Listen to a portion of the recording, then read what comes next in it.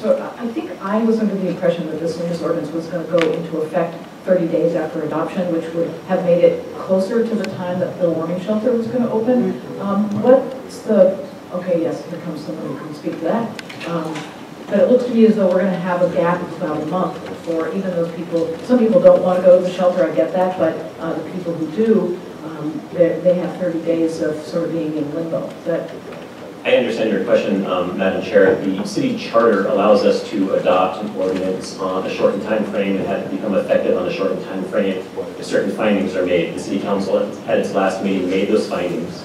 So consistent with our charter, the ordinance will take effect on October 1st. Thank you.